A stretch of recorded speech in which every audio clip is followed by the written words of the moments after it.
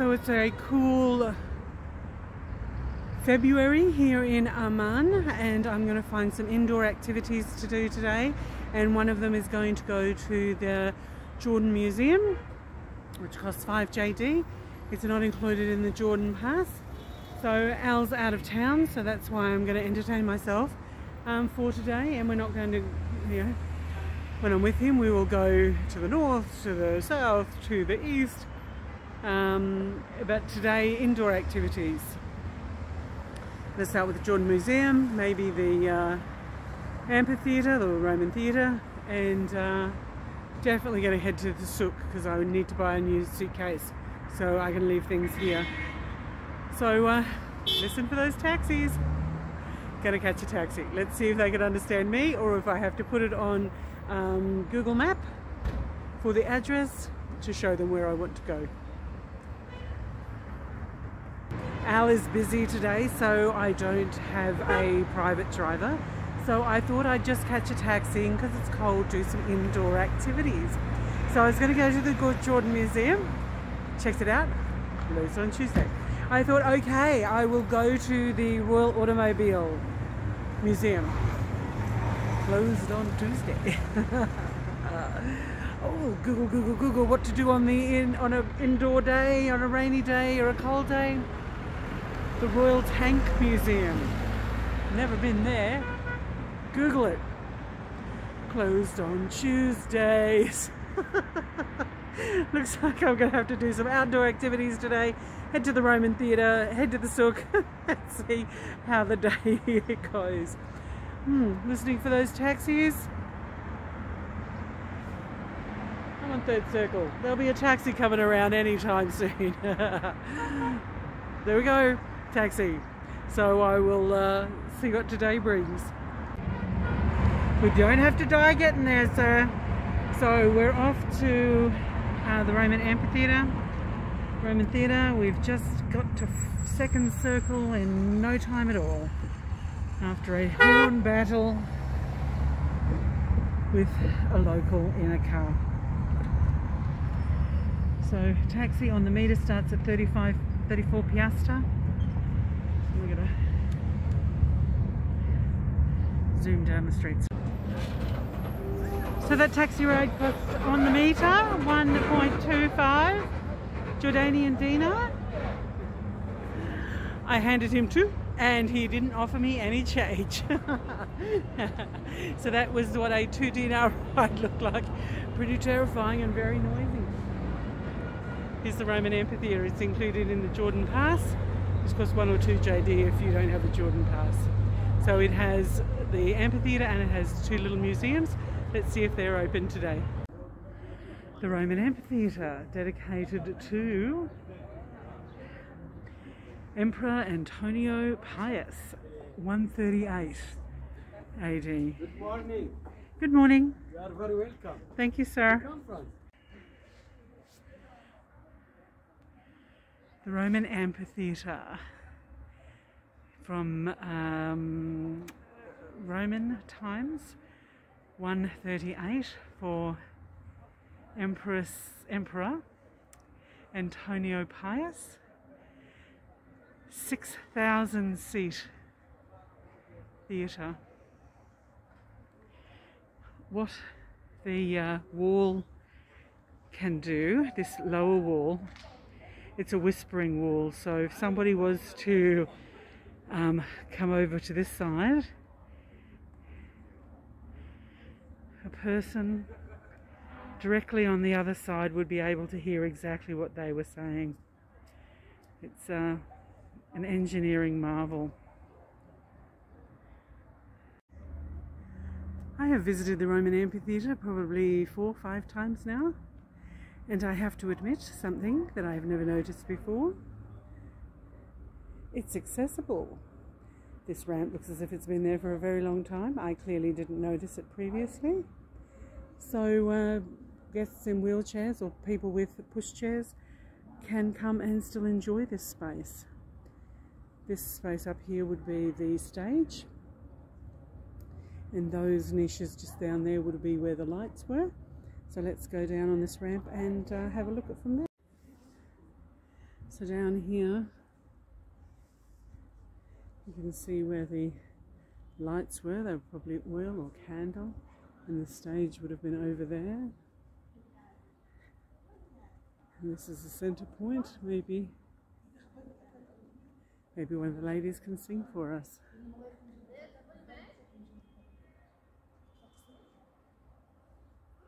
I have gone up to the second layer, but I just get nosebleeds. I'm just not good with heights.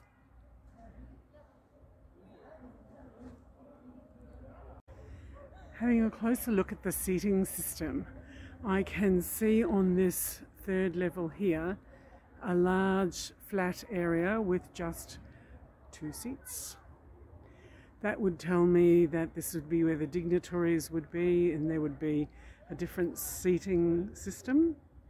And so they'd only have to walk up a couple of steps to the their seating instead of going way up to the gods up there into the bleachers, into the nosebleed seats.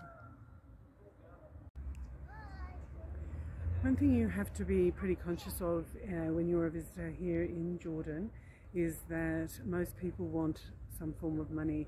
So if young people come and ask you if they want you to take their photo, hello buddy, how are you?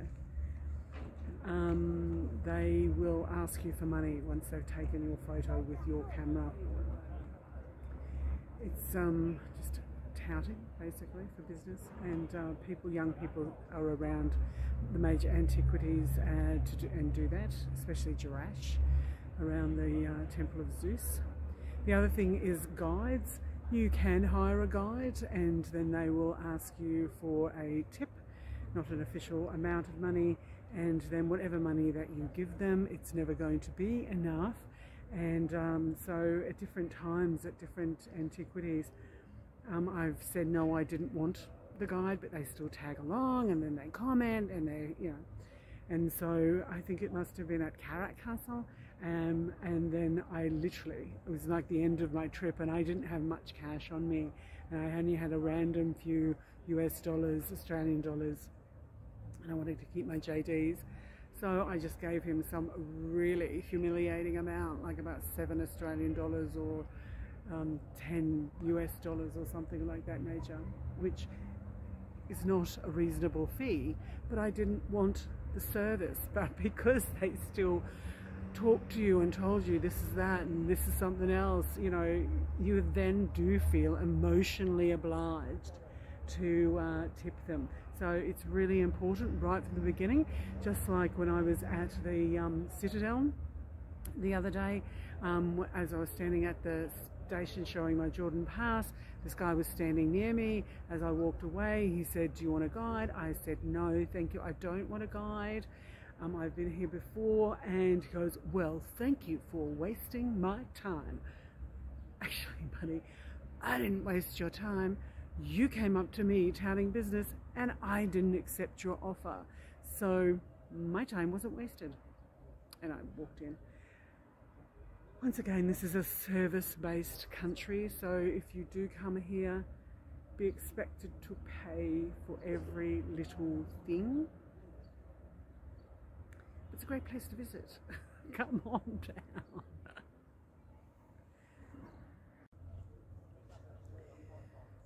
So this second century Roman amphitheatre um, here in Amman which originally was called Philadelphia at the time, which is a decapolis city.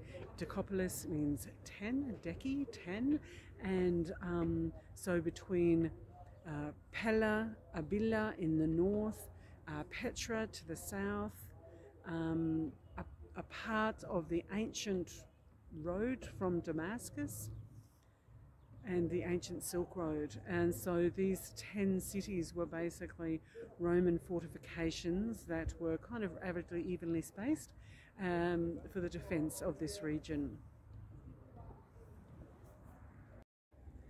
So, as you're looking at the basic structure of a Roman amphitheatre, it has the semicircular seating area, but then you have the front of the stage, which is called a procastrium, Then you also have the orchestra pit, and then this seating area is a cave, C-A-V-A-E, a cave, the seating area. In this one, there's 44 rows of seating area in three different um, layers. So I'm going to move off my space here in the cave.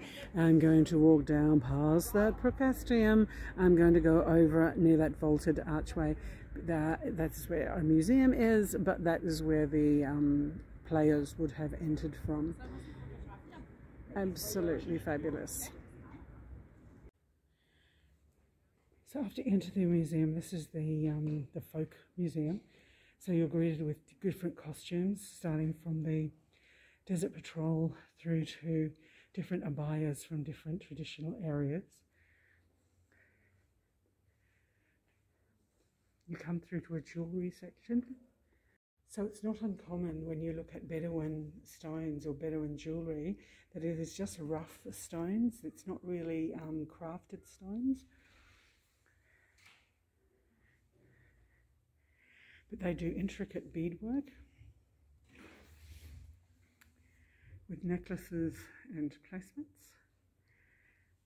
and also on hats, head coverings. Just spectacular. Druze women would wear something like this, a metal die cast headwear, and Druze were from Syria. This type of headwear would have come from South Palestine, the Negev Desert, and uh, some of the coins would be from the period of um, the British Mandate.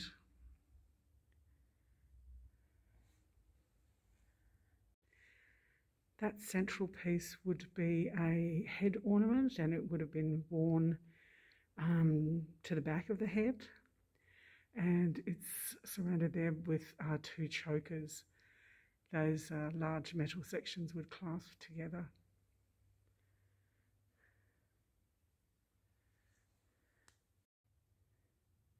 Some of the region's jewellery looks uh, pretty fierce, having a lot of those raised areas on them. So these are bracelets.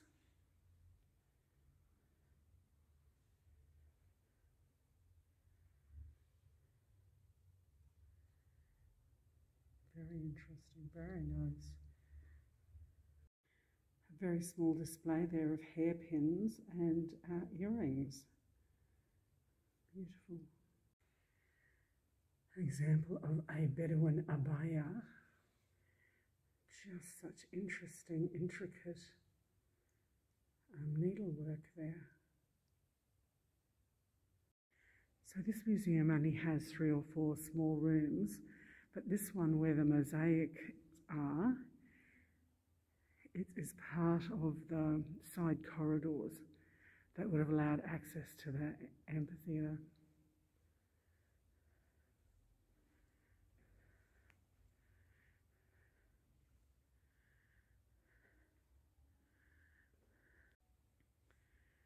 Mosaics of the fruit bowl.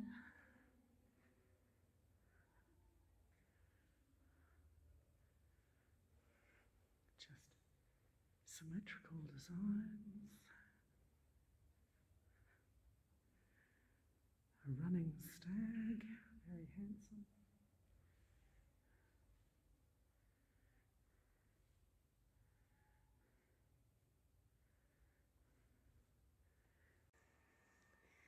I've entered into the second museum now. This one is the folklore one. The other one was of uh, traditions.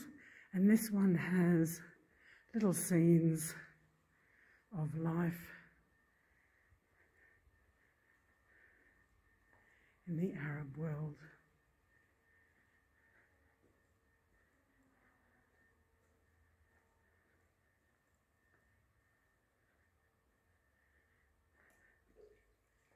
Oh, that scene just activated and the water started running. Scared the heck out of me. This chick doing? She is milk shaking. Ooh. And I wonder if we're getting the milk here. Yes, we are. We're getting the milk and then we shake the milk. Must be to separate it to get um, yogurt, maybe. This is something you'll see a lot of in Jordan. That is for grinding the coffee. Something else you'll see a lot in Jordan shisha pipes for smoking. To produce all of those beautifully coloured rugs that you see around the Middle East, you would need somebody to weave them on a loom, a large loom like this, or a vertical loom such as this. Food is very important for every civilization, especially uh, the Bedouins, who are a very social people. So, um, agricultural.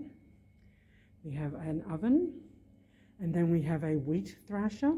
Looks like a pretty ancient torture chamber, but you would just thrash the wheat over here, and the wheat would come away, separate. Wheat would have to be then ground into a finer powder for the bread, and then that would be kneaded in pots like this. And there's a demonstration of a lady um, grinding coffee beans in a coffee grinder. So I've actually dawdled today. Um, you can do this whole uh, Roman theatre and the two museums in about half an hour. Um, just buzz in, buzz out, but I just wanted to spend some time just to enjoy the atmosphere. Even though I didn't walk up many of those 42 layers, I have done in the past and it's just beautiful. The day's turning out much warmer than I anticipated, so uh, it's, I don't need to uh, rush and find some indoor activities today. So uh, stay safe everybody and happy travels.